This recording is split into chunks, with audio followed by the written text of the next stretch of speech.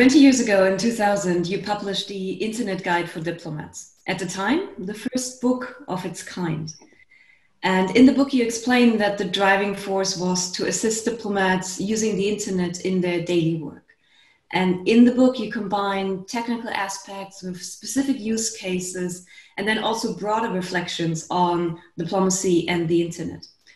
I think 20 years is a great time to look back and reflect.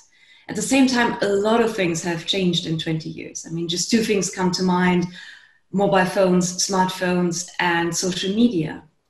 So I think, however, there's always continuity and change. So I think this is a good place to start.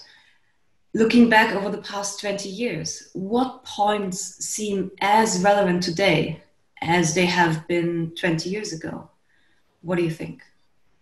Continuity and change is a dynamic of the, this evolution of uh, uh, diplomacy.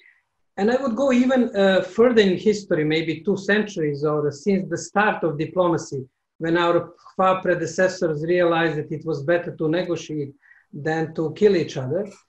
And uh, that is, the last 20 years, is uh, on this long, long journey. And then there is a continuity of the core function of diplomacy, of peaceful resolution of conflicts, promotion of national interests uh, through embassies, through the network of missions, and there is definitely a change in the way how it is done. Now, one shouldn't overestimate this change. Uh, it, uh, we have new tools, but still there are old traditional diplomatic tools of negotiation, persuasion, personal engagement. Yes, I, I, I would like to take a different stance from what Jovan said, uh, looking back 20 years ago, in the sense that uh, I completely agree, of course, but, but um, I, I, I, would like to mention uh, why we decided to write this book 20 years ago. And uh, the, I think the drive um, was something which is not, dif- not that different tomorrow, uh, today, which is uh, at that time we, we really perceived that in the diplomatic world, also in many other professional world, but we were very focused, like today, Diplo is focused on, on the diplomatic world there was really a, a, big need to understand what was going on in the profession, uh, in the uh, not only in the in the, in the pursuing the objectives of diplomats, but also in the daily work. What was the influence of the of the internet, of the new tools which were available? It was quite quite a revolution, I think. I don't want to overestimate, of course, but it changed quite a lot of habits, it changed quite a lot of priorities, uh, it changed quite a lot of skills needed.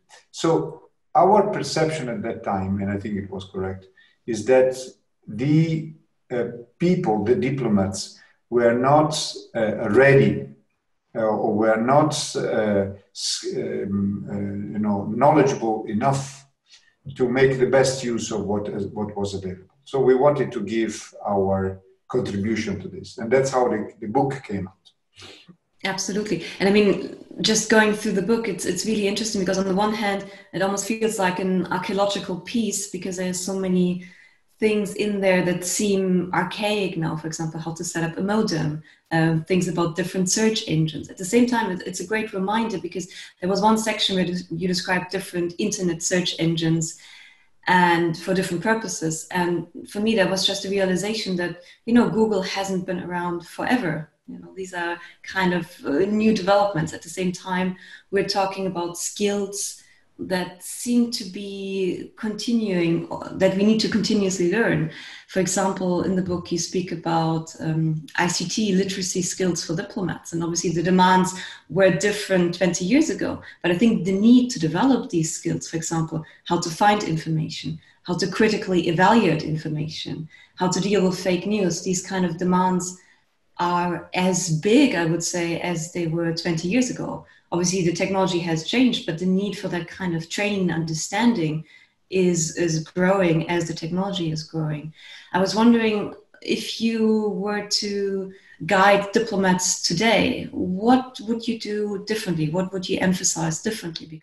I think the principles didn't change. Uh, change the tools changed quite a lot, mm-hmm. and there was a, a major change. Then we can go deeper in this in the um, in the let's say in the promotion, what we called at that time the promotion, which today I would say the digital marketing. That's completely different, mm-hmm. in the sense that you know the accents 20 years ago and the problem, the big problem, were the websites. You know, today it's something which is taken for granted. You know, you must have a, a website. But there is a very interesting um, graph, uh, and I'm glad that we put some numbers at that time where you can see the percentage of missions which had a website for different countries you know and there were very low percentages. The highest was at the time france with more than 50% then was italy with 30% mm-hmm. and then so today it's nearly 100% with websites so just you have to know what was then to understand what, what's going on today. I think that's that's important. That's why it has still a value. That's why it's not a celebration of you know to uh, all the authors that uh, or for Diplo. Yes, Diplo has a meaning because it proves that there is a tradition and a knowledge which not doesn't come from today. It comes from when it all started. Let's say, especially in, in, in IT but it's also to know uh, where, where we come from to understand what, why we are today in a certain way, and maybe to imagine what is going to be in the, in the future. Over the last 20 years, one of the trends which was clear was uh, uh, sudden over enthusiasm about latest technology. Uh, and the latest, uh, let's say, latest uh, importance of data, information, knowledge, and wisdom. And there was a, some sort of sleepwalking of the global profession, not only diplomacy, that data, more data, more information will lead to more information, which will lead to more knowledge and in turn to more wisdom. What we are realizing today is that uh, we have unprecedented uh, quantity of data available to all of us, information tools, but not necessarily uh, transferred into the wisdom of solving the problems, which is ultimately the aim of diplomacy. Therefore, one uh, lesson from the last 20 years is to use these uh, fantastic tools, but to be always aware of the core function of diplomacy and limits of technology. Technology is not going to provide us with wisdom. Wisdom is still uh, a privilege of a human or lack of wisdom, which is unfortunately often prevailing. Therefore, that element is important because we tend to simply say, oh, this is the latest data science tool. Now, obviously, we, it will solve problem for us, including AI recently. Mm-hmm. But that's that's major lesson from for at least for me for, from the last 20 years. In addition, what Stefano mentioned. Definitely, I, I think so. Basically, the last 20 years provide a lesson that uh, technological optimism in itself is not is not to save us right? Yes uh, that, that's that's uh, that's true but uh, it's normal it's very human to be enthusiastic. We like new toys uh, even when we are closer to retirement as uh, as uh, we are approaching it. But there is element that when that enthusiasm become business model then it can misguide the whole uh, profession, whole community, uh, leading to the waste of funds and other and other issues. The famous Gartner curve shows this uh, uh, hyper optimism, then disillusionment. But I think it's also a good reminder. What you just said is a good reminder that it's really hard to predict the future. So being in the business of trying to predict the future is almost impossible. I, so, I, if I can, if I can intervene on the yeah. prediction of future, whatever we will have in the future in terms of um, available tools, they are one way or another related to what has been used and developed in the past. I mean, we had the mail, and then from the mail, uh, we went to the blogs, and then we went to, to Twitter. They are completely different things, but there are relations to, to this. In the sense, and here I come to the, the issue of skills, that if you don't develop in time uh, certain skills with certain tools, it will be more difficult for you to adapt to the new tools that will be developed.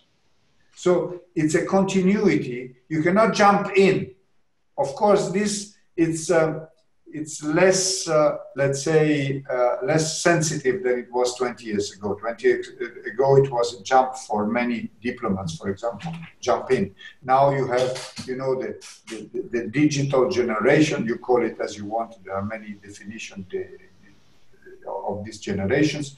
Of course, they are, they, are, they are coming with their backlog of knowledge already. But this doesn't mean that they know how to apply or how to make the best use of these tools in the profession. Uh, I do want to kind of ask is there anything that kind of surprised you in the past 20 years? Anything you think I wish or we wish we would have seen this um, 20 years ago to kind of put put in our uh, guide?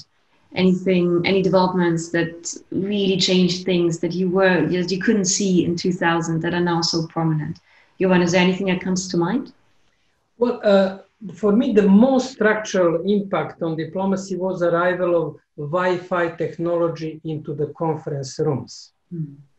That is completely under research, and unfortunately, academia focuses mainly on Twitter diplomacy, what is fancy lately. But arrival of simple Wi-Fi tool has changed diplomacy substantively for a few reasons uh, first, uh, half of the people attending the meetings uh, may be somewhere else uh, browsing the net or uh, booking the restaurant for the evening or doing some, uh, some personal things. I often do the test how many people are cognitively present in the room, although they sit in the, physically in the room.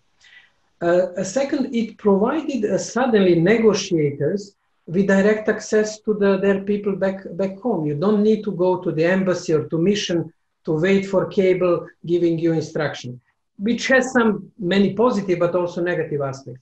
It also opened diplomacy to uh, more scrutiny, more transparency, more inclusion. And generally speaking, this was a positive development, but with some negative, negative aspects as well, especially uh, on the risk that people who are broadcasted uh, with Wi-Fi may speak more to their audience back home than to the, their interlocutor across the table. Therefore, that arrival of Wi-Fi in conference room, and with Wi-Fi, obviously, Twitter, social media, and what uh, Wi-Fi enables, is probably um, something that we uh, couldn't predict in uh, 20 years ago, but it has made more uh, structural and substantive impact on the way diplomacy is conducted. I would even argue more than Twitter and Facebook and social media. I, if I can uh, just uh, exchange for you an, an old uh, souvenir of Wi-Fi, which is good. Uh, I, I, agree with, with, with, Jovan. Really, we could not imagine in 2000 uh, that the Wi-Fi was, you know, there to come and, and, and quite make many changes. But I can tell you that even every change that took place in the diplomatic activity, it was a, a hard one it was not smooth. Even the Wi-Fi in the in the assembly halls or in the meeting rooms was a big fight. And I personally remember this because I was in New York uh, starting in 2002. And the first two years, of course, there was no Wi-Fi in the rooms, absolutely, in the in the in the meeting rooms. And uh, I remember with, with a small group of, of other colleagues, we one of the requests was to, to start having Wi-Fi in some rooms, and it was a big, big issue to get it, very big, because and here here comes something which is used and use all the time because of security issues. Mm-hmm. You know, when when uh, you want to be conservative in many cases, first thing you put in front is, but there is a security issue, which is true. There is a security issue, but there is also a security solution to that all the time. Only that the security solution comes even uh, afterwards. And this has been repeated all the time with the introduction of social media, of each social media. And uh, even now, nowadays, with online uh, meetings which were forced uh, by the COVID situation, you know, one of the most important impediments was the security issue. So there's a continuity in using this. I'm not saying that that we should uh, underestimate uh, uh, all the, the, the, security requirements for, for certain uh, activities. Uh, we should be more capable of understanding when and where there is a real security issue and when and where there is not. That's Just to add to Stefano on this, this is definitely in the continuity and the criteria for introduction of every new, new tools. And what we found is that there is a lack of cyber security culture in many, not only ministries of foreign affairs, but uh, many institutions. And the usually discussion is binary. Uh, you come and say, okay, I have this new tool, I want to use it from my official computer. And uh, security people said, no, it's not secure, you cannot use it. And this is almost like uh, uh, the issue that you don't debate, because who are you as a diplomat and official to challenge cybersecurity people and take the risk that maybe due to you there will be a break. But uh, discussion on cybersecurity is becoming so essential. And as Stefano mentioned, it should be supported by cybersecurity culture by saying, okay, uh, first, we don't have a 100% secure technology. What is the risk that we are uh, ready to tolerate? And how we deal with this risk? That, uh, as far as we know, um, uh, doesn't exist in, uh, in many institutions. And the COVID crisis and arrival on online meeting platform uh, was in a way X-ray and showed so, so clearly lack of cybersecurity culture. One question I really would like to ask you is about the future of diplomacy. So I think we often, the only way we can understand the future is by looking to the past and the present. And on the one hand, you highlighted uh, continuity, you also highlighted change. And I think some of these discussions really have become heightened due to the COVID 19 crisis. But if you were to look 20 years ahead into the profession of diplomacy in relation to new technology and the internet, what, what do you foresee? What is your, so to speak, prediction for the next 20 years? Let me, let me start, and then Jovan will uh, say, say its point of view. But I, I, I think um, the opinion that I've been, you know, developing uh, is that more and more diplomats will have to develop communication skills. This is not new. I mean, the communication skill is a traditional one. It's even in the, you know, uh, previous centuries, it was like that. But the, the, the, the development you have in the kind of expectations vis-a-vis uh, the diplomatic activity and uh, or the, the, the, the available uh, tools makes, let's say, um, not makes, but um, implies that diplomats will have to be more skilled in terms of communication. And this is strictly related with the, with the IT uh, tools. You need the contents. I always take for granted that what you're going to communicate is something which is valuable. You know, it can be your country, it can be your economy, it can be your political position, it can be the assistance to the uh, your community. There is contents. There is a good reason. There is some.